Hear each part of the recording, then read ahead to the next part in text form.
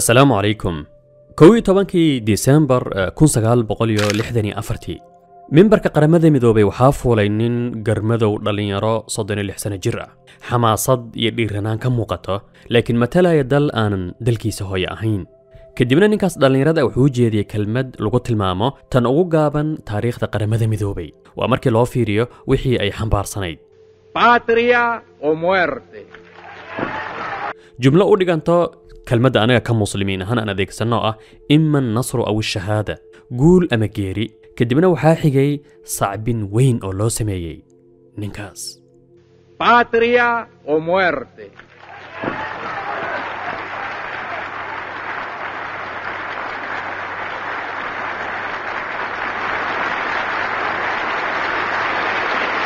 Siduu nin afartanka aanan gaarin markuu dhimanayay soddon iyo sagaal sano jir ayuu ahaa. Dhakhtar ka soo jeeda qoys dabaqada dhexe ah. U noqday astaanta kacdoonka iyo la dagaalanka imberiyaaliyadda galbeedka. Sawirkiisana aad meel walba ku arkayso. Nin noqday astaanta dhabta ee kacdoonnada. Waxaan ka hadlaynaa maanta ji gevara dhakhtar argentinays ah siyaasi kuubaan ah. Jirkiisa ay wadaan dhiigga cirqiga ayrishka ee kacdoonka caanka ku ah. Haddaba koobkaada shaha soo qaado kuna soo dhow mawduuceena maanta laakiin inta aanan gelin ii ogolow in aan ku xusuusiyo mimbarka shaar xirfad oo aan ku tilmaami karno hooyiga koorsooyinka haddaba mawduucan markaad dhammaysata gal kadibna dooro koorsadii ku cajabiso mar kale ku soo dhow mawduucan waa anigoo cumar inshaar yaa ahlan wasahlan porta-voz das Forças Armadas Bolivianas afirmou hoje que o guerrilheiro morto no domingo passado era realmente das Forças Armadas Bolivianas afirmou hoje que o guerrilheiro morto no domingo passado era realmente Ernesto Guevara. haddaba aan aadna halkan argentina. Ayuu ku dhashay magaalo lagu magacaabo rosario. Magaciisa loo bixiyey markii uu dhashay waa enresto rafael givara de la serna. Ama ereyga ji ee maanta magaciisa ka horreeya waa naanays loo bixiyey mar dambe oo ka dhigan rafiiq ama saaxiib givara wuxuu ka dhashay qoys dabaqada dhexe ah. Qoys ka mid ah qoysaska lagu tilmaamo qoys aristaqraati ah kana mid ah qoysaskii ugu horreeyey ee dega dhulkaas qaniga qaaradda latin america. Qoyskiisa wuxuu ka soo jeedaa yurub dabcan ireland oo ah cirqi mar walba kacdoon ku jiro in britain qayb dhulkooda ka mid ah haysato waqooyiga ireland. Irishkuna mar walba waxay soo arkaan in ay dulman yihiin ninkan givara ah yaraantiisii waxaa ku dhacay cudurka neefta mashaakil badan oo dhinaca caafimaadka ayuuna wajahay. Laakiin wuxuu ahaa canug dhaqaaq iyo xarako badan sida in uu ciyaarta ragbiga aad u ciyaari jiray dabaasha iyo wax walba ciyaar niyadaada ku soo dhacaya toddobadii wuxuu u wareegay caasimadda boynes aires. Si uu u daryeelo ayeydii oo xanuunsanyada ku sugnayd magaalada wuxuu ahaa nin dhallinyaro aad ku tilmaami karto kuray laakiin waqti yar kadib ayeydii ayaa geeriyootay. Haddaba iyadoo la fiirinaya xaaladiisa caafimaad asaga ka shakhsi ahaan iyo geerida ayeydii ayuu isku qanciyey in shayga keliya lagula tacaamuli karo cudurka uu yahay barashada caafimaadka. Waana arrinka keenay in uu caafimaadka barto inuu dhakhtarnimada barto qaybtan aan kugula wadaaga safar noloshiisa beddelay. Dhammaadkii kun sagaal boqol iyo koow iyo kontonkii asaga iyo saaxiib uu lahaa oo lagu magacaabo alberto garnado ayaa ku heshiiyey in ay bilaabaan safar koonfurta qaaradda amerika ka bilaabanayo ilaa iyo waqooyiga qaaraddana soconayo ayagoo u adeegsanaya safarkaas gaadiidka ay wataan mooto. Rag dhallinyaro qoysas dhaqaale ahaan fiican ka soo jeedo. Safar micnaha aad ku tilmaami karto dalxiis laakiin isma uuna lahayn safarkaas ayaa noloshaada oo dhan beddeli doona safarkaas wuxuu tusay xaaladda saboolnimada boobka khayraadka ka jirta inta badan waddamada qaaradda latin america laakiin arrinka u fiirsashada leh. Dowladahaas waxaa ka talinaya rag mujrimiin ah laakiin taageero ka helaya america c i eda haddii lagu weydiiyey su'aal ah ma ii sheegi karta dalka ugu badanee sameeyey falal afgembi ah dhagaro afgembi ah jawaabtu waa inay noqotaa maraykanka meesha uu ka sameeyeyna qaaradda latin america gevara wuxuu arkay shucuubtaas xaaladda aadka u adag ay ku jiraan. Waqti khayraadka dhulkooda dad fara ku tiris ay dhuuqayaan. Safarkaas wuxuu ka qoray buug uu u bixiyey maalmihii mootada. Markii dambe waxaa loo bedelay filim safarkaas saamaynta leh. Kadib safarkaas taxnaa ilaa miyaami maraykanka. Argentina ayuu dib ugu soo laabtay si uu u dhammaysto waxbarashadiisa caafimaad oo uu u yarahkiyey safarkaas awgii laakiin noloshiisu waxay isu beddeshay safar joogta. Muddo yar kadib wuxuu af ka saaray dhinaca buuraha andiis isla qaaradda koonfurta amerika safar taxnaa waddamadan soo socdo chile bolivia beyru ekwador colombiya ilaa iyo bartanka amerika muddo ayuu salka dhigto ku sugnaa guatemala. Intii uu guatemala joogay waxaa ka dhacay shay soo dedejiyey inuu hubka qaado. Shay ka dhigay givaraga aan maanta naqaano.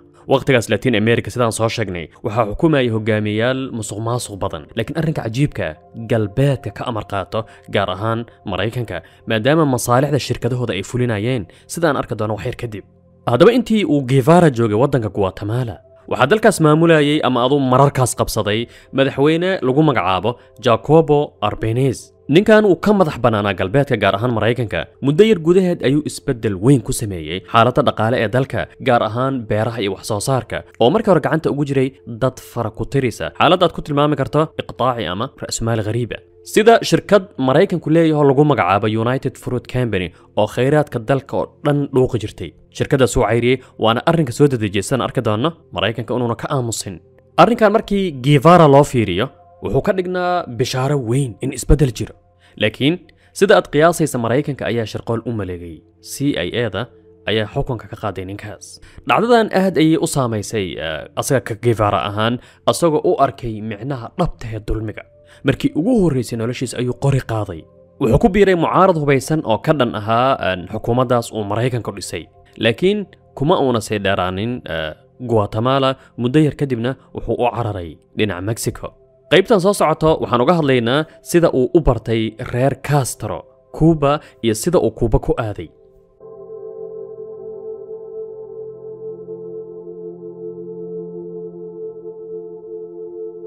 waxaan soo yara sheegnay kadib guatemala in uu u baxsaday dhinaca mexico. Haddaba mexico joogitaankiisa saamayn weyn ayay ku yeelatay sababtoo ah waxay isku barteen laba nin oo saamayn weyn ku yeelan doono mustaqbalka kuuba iyo asaga ka shakhsi ahaan. Ilmo castro markii hore waxay isbarteen raul castro oo ah raul waa walaalka yar ee hogaamiyaha taariikhiga kuuba fidel castro.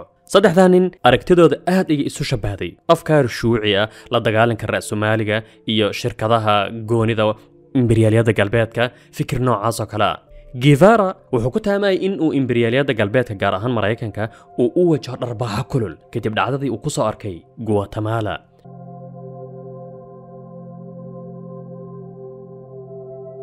Haddaba si ay oga dhabeeyaan una fuliyaan waxaas ay ku taamayaan. Safarka kuuba nofembar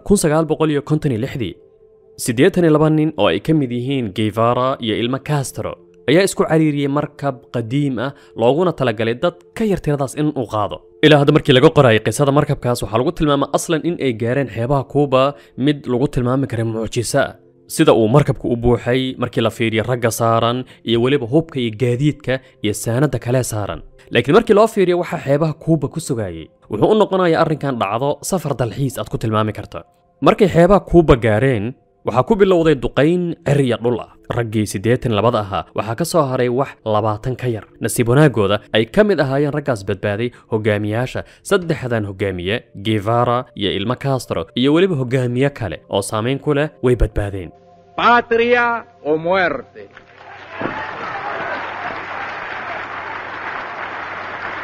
givara dhaawac aanan aad u weynin ayaa ka soo gaaray dagaalkaas. Kadibna waxay u carareen buuraha kuuba ahaanshiyihiisa dhakhtar ayuu uga faa'iidaystay daaweynta dhaawaca raggiisa. Sidoo kale qorigiisa ayaa garabka u surnaa intii ay ku jireen kaymaha iyo buuraha kuuba. Ilmo kaastaro givara iyo raggooda waxay kuuba ka galeen dagaal ku dhufo ka dhaqaaqa.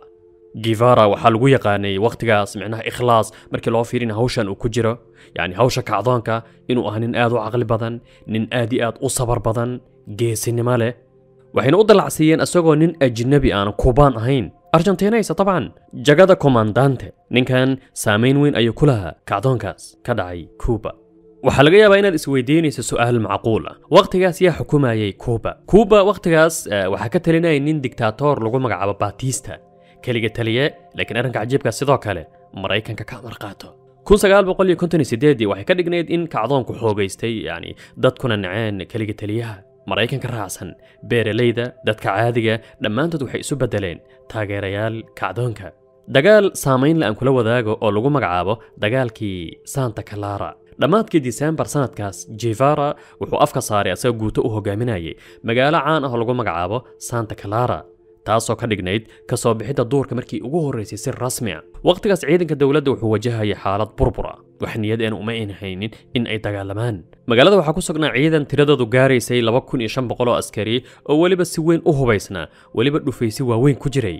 Laakiin niyad ma ayn haynin waxayna iska celin waayeen saddex boqol oo ah ragga gifara niyad ahaanna ka wanaagsan dagaalna diyaar u ah. Ciidanku aad ayuu u niyad xumaa. Labiyo toban saac gudahood ayay magaalada ku dhacday gacanta gifara dhicitaanka haddaba santa kalara waxay ka dhignayd laabidda annaan si rasmi ah boggii ugu dambeeyey xukuumaddii batista dagaalkan wixii ka dambeeyey waxay uun ahayd israacin iyo inay isu diyaariyaan in ay galaan caasimadda havana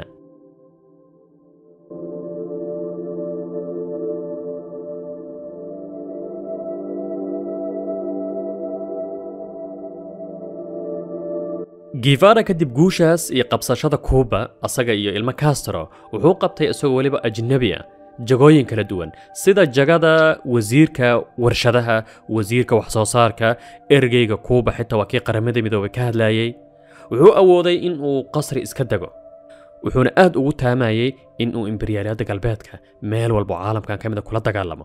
Qaybtan soo socota waxaan ku arki doonaa safarkiisi afrika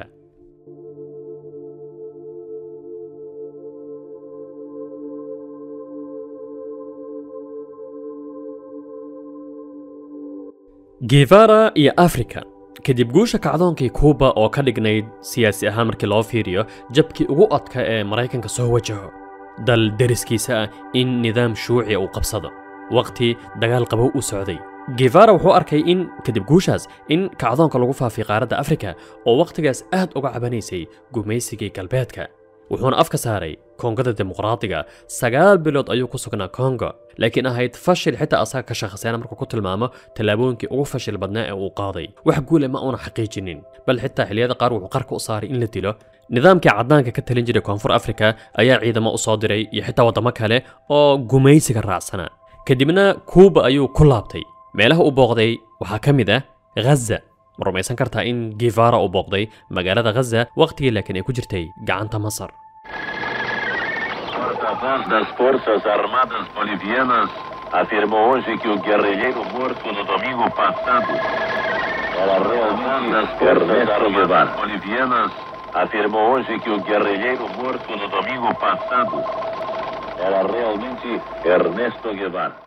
qaybtan soo socota waxaan kugula wadaagi doonaa insha allah dilka iyo dhammaadkii nolosha givara haddaba ku soo dhowaada qaybtan bolivia iyo dhammaadkii givara kadib afrika iyo ghaza wuxuu isla gaaray qanaaco ah in latin america tahay meesha ugu habboon oo dagaal kacdoon laga geli karo. Kadib dhiirigelin uu ka helay sidoo kale fidel castro ayuu dii u kacay bolivia waxaana la socday konton nin oo kuubaan ah laakiin ma ayna helin wax taageero ah haddii ay noqoto mid sir ah iyo mid shuuciyiinta kale uga imaanayso wakhtigaas bolivia waxay ka mid ahayd waddamada uu maraykanku walaaqayay. Bartankii dii givara iyo raggiisa waxay xaqiijiyeen xoogaa guule ah dagaal ay la galeen ciidankii bolivia laakiin raggiisu aad ayay u tira yaraayeen heer ay ka soo hareen labaatan nin keliya saad aad u yar ayay wateen sidoo kale.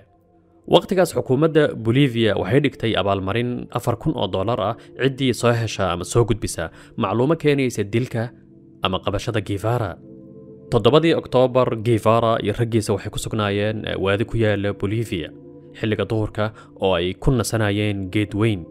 Laakiin beeraley bolivian deegaanka ayaa arkay kadibna si sir ah ayay ugu sheegeen ciidanka bolivia in halkaas givara ku sugan yahay. Maalinkaas dagaal culus ayaa dhacay dagaal keenay inuu si xun u dhaawacmo givara gaar ahaan lugta uu ka jabo siddeedii oktoobar waa maalinkii xigay dhacdadaas oo raggiisu inta badan ay dhinteen qaarna ay hawdka galeen asagana uu dhaawac yahay ayuu ku dhacay gacanta ciidanka bolivia oo weliba taageero sir ka helayay si ayada sidaan arki doono waxyar kadib markay gacanta ku dhigeen wuxuu yidhi waxaan ahay givara waxaan mudanahay wax ka weyn geerida.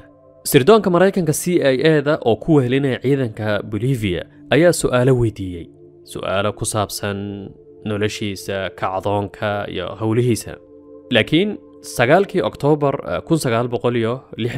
dii ayay rasaas ku fureen givara ay soo afjareen noloshii givara waxaasoo dhacdooyin ah ma uuna gaarin ninkan afartan sano soddon iyo sagaal sano jir ayuu ku dhintay oktoobar sagaalkeedii